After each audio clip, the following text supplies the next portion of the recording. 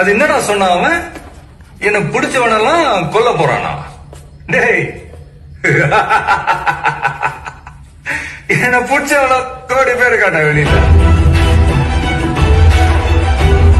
முடிஞ்சதோட சொல்ல பார்ப்போம். திமிரவா சொல்வீங்க? என்ன பண்றது? நம்ம ஊர்ல பாதி பேருக்கு அறிவே இல்ல.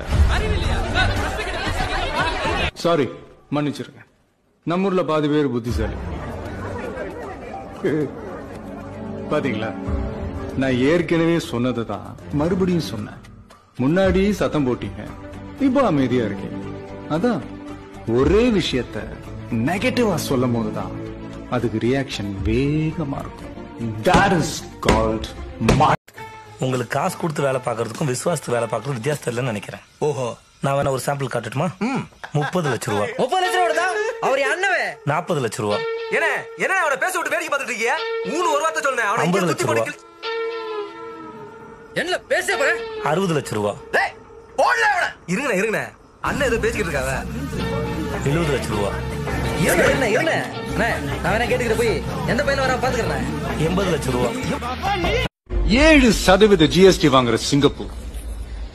மக்களுக்கு மருத்துவத்தை இலவசமா தர்றப்போ இருபத்தெட்டு சதவீத ஜிஎஸ்டி வாங்குற நம்ம அரசாங்கத்தால ஏன் மருத்துவத்தை இலவசமா தர முடியல? மெடிசனுக்கு பன்னெண்டு பர்சன்டா பல தாய்மார்களோட தாலி இருக்கிற சாராயத்துக்கு ஜிஎஸ்டி கிடையாது. நம்ம நாட்டோட நம்பர் ஒன் அரசு மருத்துவமனையில ஆக்சிஜன் சிலிண்டர் இல்ல.